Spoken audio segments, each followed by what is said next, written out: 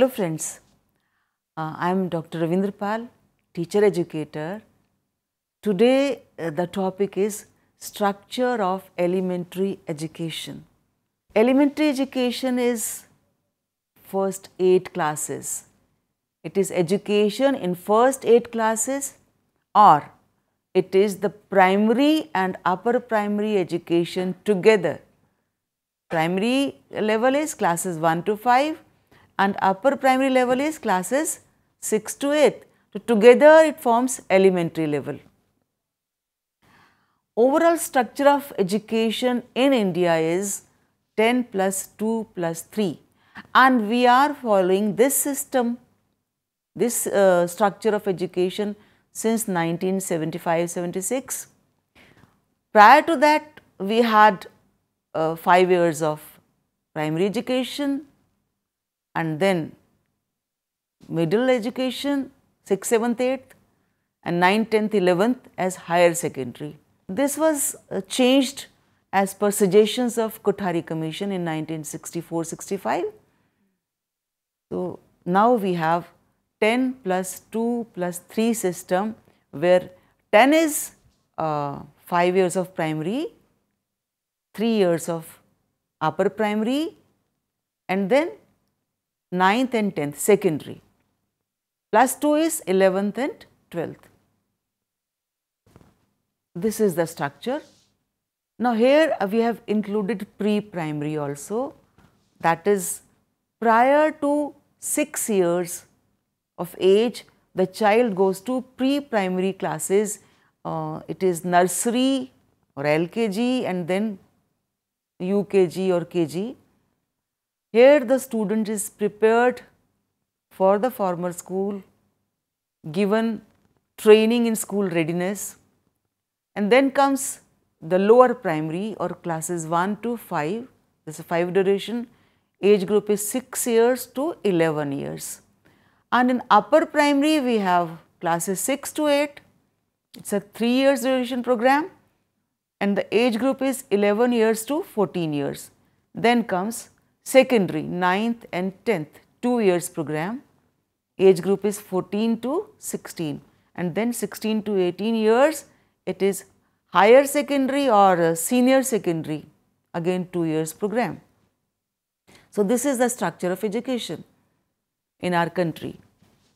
Now, since independence, we are trying to achieve what we have mentioned in our constitutional provision that is free and compulsory education of to each and every child of our country up to the age of 14.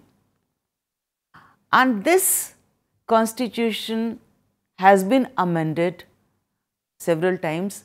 The 86th Amendment Act 2002 in which Article 21A is there, it states that we should provide free and compulsory education to all children in the age group 6 to 14 years as a fundamental right in such a manner as the state may by law determine.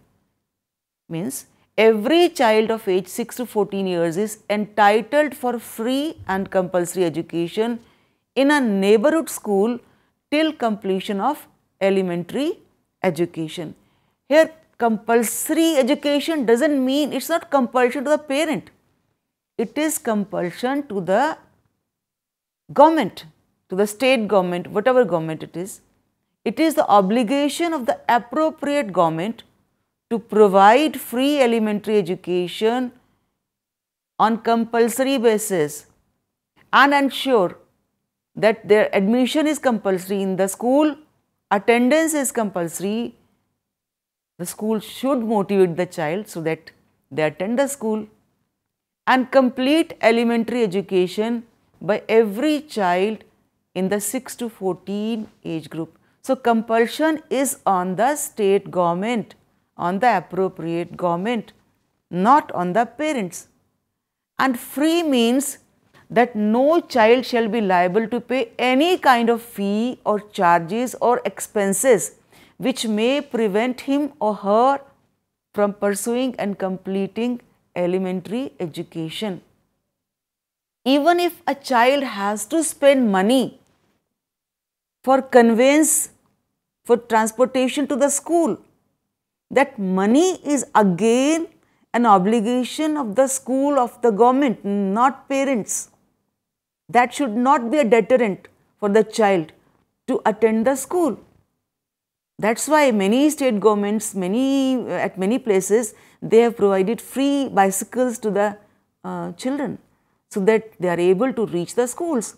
So either the school should be in the neighborhood so that the children are able to walk up to the school and if they are not able to provide school in the neighborhood, then they should make some provision like providing free bus service, providing free bicycles or whatever.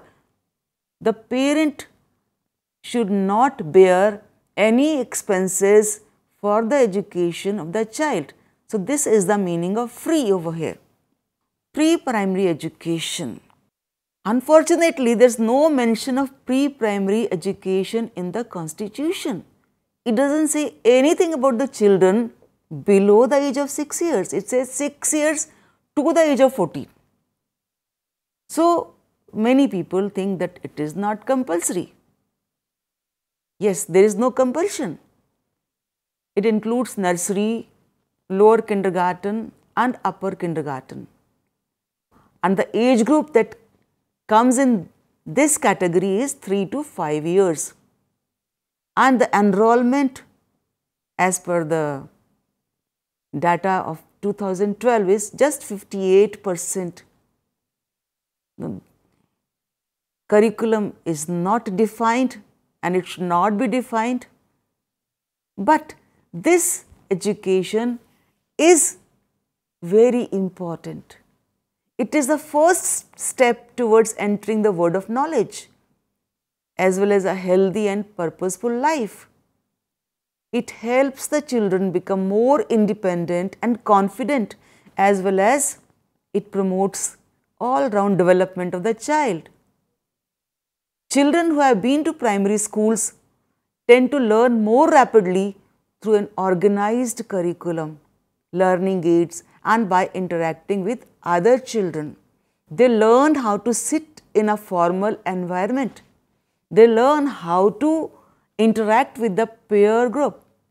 They learn how to manage their things.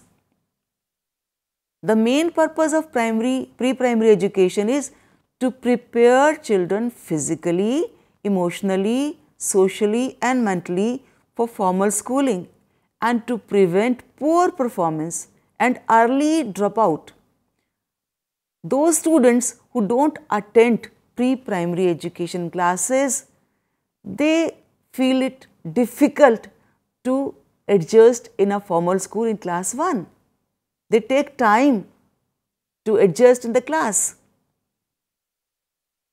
One more advantage of pre-primary education is in several families the girls, especially the girls, elder to the young siblings, they are not sent to the school so that they sit at home and look after the younger siblings.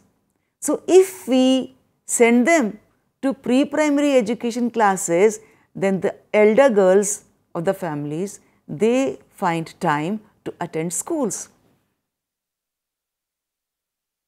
Curriculum at pre-primary is, as I said earlier, there is no formal curriculum. It's take, uh, the natural desire of the children to learn and make sense of the world around them is nourished here. Learning is as per child's interests and priorities. There is no compulsion. And children are allowed to explore, experiment and freely express themselves. The focus is not on 3 hours. Though we are preparing the students for the formal system, but we are not forcing this formal education in pre-primary classes. Then the next step is lower primary education that is classes 1 to 5. The age group over here is 6 years to 11 years and enrollment at present is 100 percent. The purpose is development of basic skills of literacy and numeracy, study the environment in terms of physical and social phenomena, participation in activities which would develop productive skills, creative expression and habits of healthy living. The children of the age group of 6 to 11 years study in classes 1 to 5 in most of the states, but some of the states uh, this level primary level is uh, only uh, for classes 1 to 4. Fifth is taken up to upper primary classes. The lower primary school curriculum is general education which covers basic subjects such as languages, reading, writing and then arithmetic, EVS. In EVS, uh, science, uh, social studies, health education they are included and uh, apart from these they study art education, they study work experience, they study uh, uh, other things like games and all, uh, they participate in games and all. The language of instruction at the lower primary level is mother tongue. If uh, it is a Hindi speaking area, then it is Hindi language. If it is a Telugu speaking area, then it is Telugu. Tamil speaking area, the Tamil. Punjabi speaking area, Punjabi. So, the mother tongue is basically the language of instruction and this has been mentioned in uh, NCF 2005. It gives detailed guidelines of curriculum and teaching methods to be followed in primary school. Uh, then the next level comes upper primary education. Upper primary education is classes 6th, 7th and 8th. We have very limited upper primary schools in our country, very limited middle schools. Mostly we have primary schools or we have secondary schools and senior secondary schools. Age group of students in upper primary classes is 11 to 14 years. Enrollment is 91.28 percent.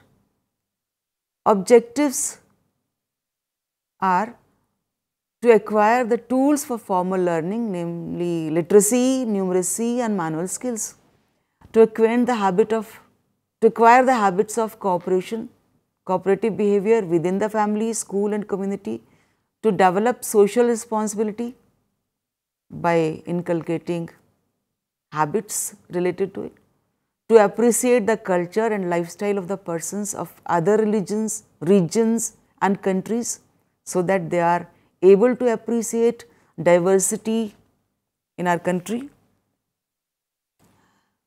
Curriculum at uh, upper primary uh, level is we follow three language formula. So, the students learn three languages at this stage. One is the language their mother tongue. Second is uh, mostly Hindi because it is national language also. And third is English. Uh, in many schools, English is introduced uh, from class 1 only, but in most of the schools, it is uh, introduced in class 5. Other subjects include mathematics, science, social studies, art education, music and life skills. Again, the detailed guidelines are given in NCF 2005. Now, this is the basic structure for elementary education. Our constitution says that we have to provide education to all students up to the age of 14. That is good. But how these three classes 6th, 7th, 8th are being treated at schools that needs to be looked into. As I told you before that most of the schools are either primary or secondary and senior secondary we have very few schools which are middle schools. Now, when you go to a secondary school, then the priority uh, is given to classes 9th and 10th because in 10th class they have board examination. So, that is very important class. 9th is going to 10th class for board examination. Again, this is very important. 8th class gives gets some importance, but most ignored is class 6th. Now, students of classes 6th, 7th, 8th, class 6th is the time when a child enters adolescence. So, these three years are adolescent age, crucial age where students need guidance, they need answers to many of their questions, but then there these classes are neglected. So, we need to do something to have more of middle schools where these three classes also get importance. They get importance uh, for the teachers and they have a good curriculum and that is transacted well. So, this is the structure of education in our country. We talk about structure of education in other countries also and we appreciate the education in Finland and other such countries and then compare our country. Structurally there is no problem, but then we need to have schools which are elementary schools, not primary schools. So that we give good attention to elementary classes.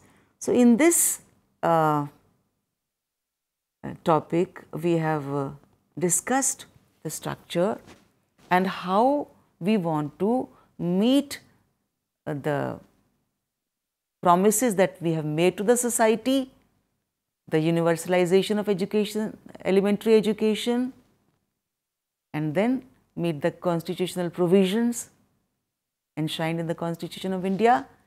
So, this uh, and how the curriculum uh, should be uh, transacted, what is the curriculum, what are the objectives, all this we have discussed. Hope you liked it. Thank you. Hindustan के हर कोने में नौजवानों के पास प्रतिभा है। उन्हें अवसर चाहिए। एन आई ओ एस देता रहा है युवाओं को अवसर आगे बढ़ने का। एनआईओएस से पढ़ने वाले इन युवाओं ने किया है संस्थान को गौरवान्वित। दिव्यांगों ने बन के दिखाया है सबल और आत्मनिर्भर एन आई ओ एस के साथ। आप भी जुड़िए एन आई ओ एस के संग।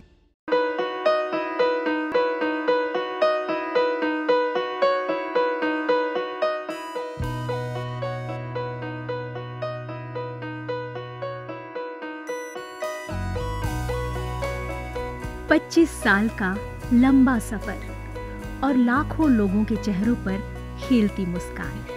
गर्व और गरिमा से जीने की प्रेरणा देती मुस्कान। आत्मसम्मान और विश्वास से पैदा हुई मुस्कान। इन खिलते चेहरों पर ये मुस्कान आई है शिक्षा के ज़रिए। ये मुस्कान आई है national institute of open schooling, यानी NIOS के ज़रिए। National institute of open schooling या राष्ट्रीय मुक्त विद्यालयी शिक्षा संस्थान। इस संस्थान का एक बड़ा उद्देश्य है आम आदमियों के जीवन को बेहतर बनाना। ऐसे लोग जिनके लिए शिक्षा एक दूर का सपना है या वे बच्चे जो परिवार की रोजी रोटी कमाने के लिए बीच में ही स्कूल छोड़ने पर मजबूर हो जाते हैं। एनआईओएस ऐसे बच्चों और बड़ों को दोबारा शिक्षा से जुड़ने का मौका मुहैया कराता है, ताकि वे एक बेहतर जीवन जी सकें। उन्नीस सौ नवासी में स्थापना के बाद एन ने देश के लाखों बच्चों और वयस्कों को बेहतर शिक्षा से जोड़ा है इनमें हर उम्र, हर पृष्ठभूमि, हर जाति, हर मज़हब और हर क्षेत्र के लड़के लड़कियाँ महिलाएँ और पुरुष शामिल हैं बड़ई से लेकर पायलट, डॉक्टर, इंजीनियर, बेकर और दर्जी तक। एनआईओएस कोशिश कर रहा है सबको शिक्षित और सशक्त बनाने की। चाहे वो असम के दूर दराज इलाके में रहने वाला हो या फिर मुंबई जैसे महानगर का। एनआईओएस ने अपनी मौजूदगी हर जगह दर्ज कराई है। एनआईओएस ने शिक्षा की परंपरागत सोच को ही बदल दिया है। वो पढ़िए जो हम पढ़ाते हैं की जगह एन की नई सोच है। हम वो पढ़ाते हैं जो आप पढ़ना चाहते हैं। इस नई सोच ने लोगों को आगे बढ़ने और एनआईओएस के साथ जुड़ने के लिए प्रोत्साहित किया है। शिक्षा उपलब्ध कराने के मामले में एनआईओएस किसी सीमा को नहीं मानता। उम्र की सीमा को भी नहीं। चंडीगढ़ के गणेश के लिए भी एनआईओएस एक वरदान साबित हुआ।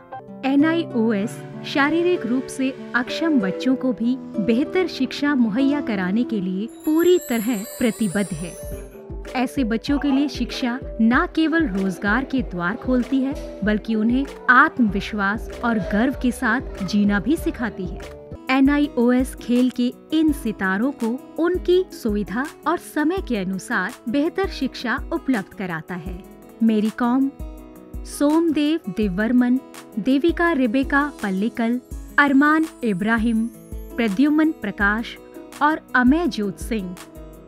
एनआईओएस सीमा पर खड़े उन प्रहरियों को भी शिक्षा से लाभान्वित करता है, जो देश की सुरक्षा के लिए अपनी जान की बाजी लगाने से भी नहीं चूकते।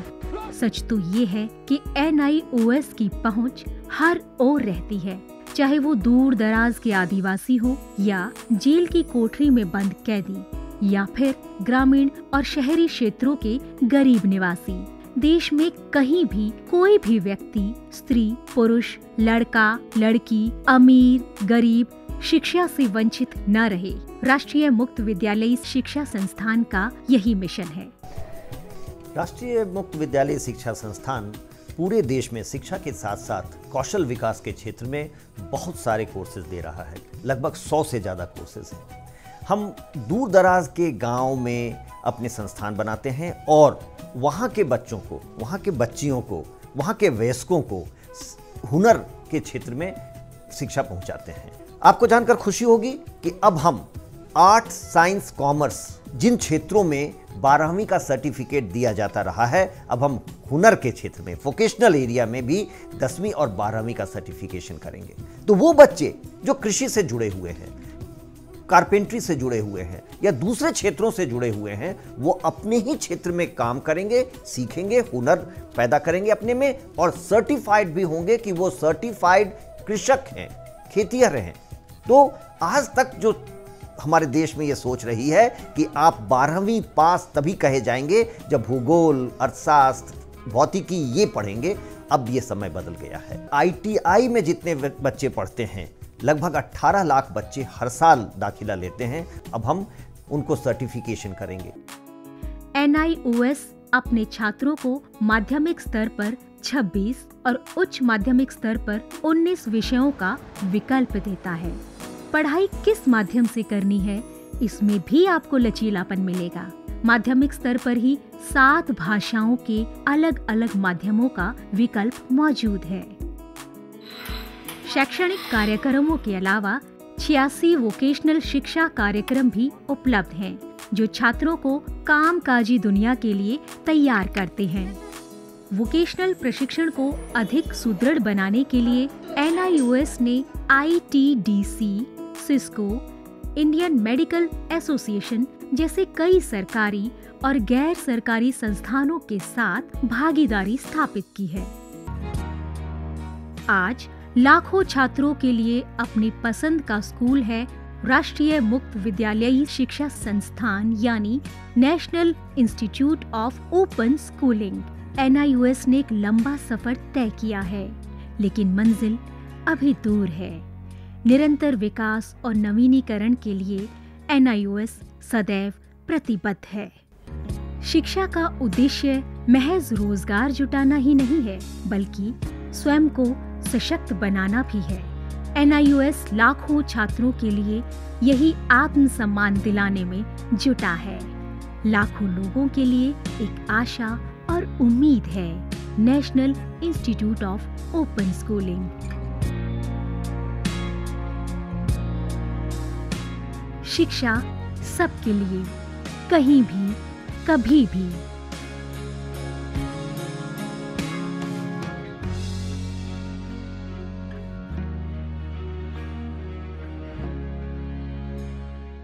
हिंदुस्तान के हर कोने में नौजवानों के पास प्रतिभा है। उन्हें अवसर चाहिए। एन देता रहा है युवाओं को अवसर आगे बढ़ने का। NIOS से पढ़ने वाले इन युवाओं ने किया है संस्थान को गौरवान्वित। दिव्यांगों ने बन के दिखाया है सबल और आत्मनिर्भर NIOS के साथ। आप भी जुड़िए NIOS के संग।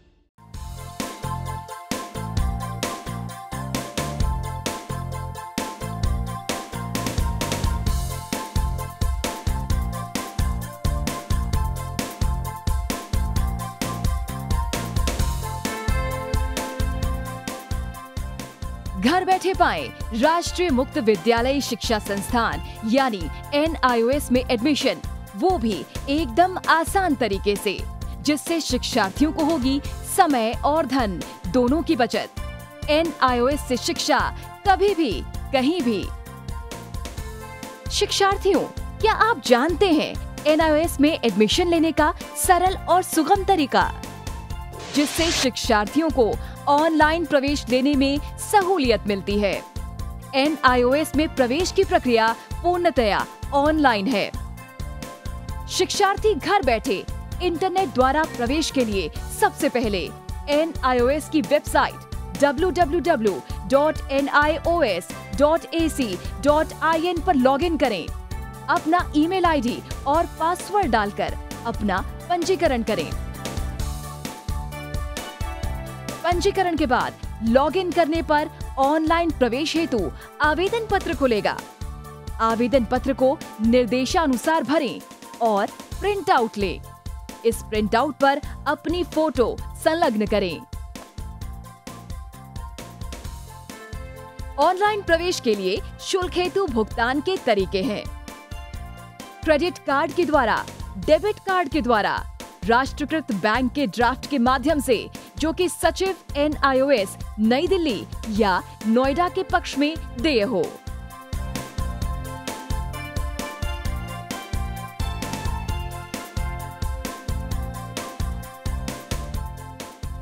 भरे हुए आवेदन पत्र के साथ साथ डिमांड ड्राफ्ट और संलग्न किए जाने वाले दस्तावेज़ हैं। जन्म रजिस्ट्रार के जिला कार्यालय से जारी जन्म प्रमाण पत्र की सत्यापित प्रति जिसमें जन्म तिथि अंकित हो। पिछले विद्यालय से प्राप्त विद्यालय छोड़ने का प्रमाण पत्र जिसमें आवेदक की जन्म तिथि लिखी हो। प्रवेश फॉर्म का प्रिंट आउट एन के संबद्ध क्षेत्र केंद्रों पर 10 दिनों में पहुँच जाना चाहिए। अन्यथा उचित दस्तावेज़ न लगे होने पर आवेदन फॉर्म रद्द किया जा सकता है। प्रवेश प्रक्रिया की पुष्टि होने के बाद शिक्षार्थियों को परिचय पत्र व अध्ययन सामग्री डाक द्वारा तुरंत पहुंचाई जाती है। ऑनलाइन प्रवेश एक बहुत ही सुगम और सुविधाजनक प्रवेश प्रणाली है। Online, on time for safe and secure admission Hindustan के हर कोने में नौजवानों के पास प्रतिभा है। उन्हें अवसर चाहिए। एन आई ओ देता रहा है युवाओं को अवसर आगे बढ़ने का। एन आई ओ एस ऐसी पढ़ने वाले इन युवाओं ने किया है संस्थान को गौरवान्वित। दिव्यांगों ने बन के दिखाया है सबल और आत्मनिर्भर एन के साथ। आप भी जुड़िए एन आई ओ एस के संग।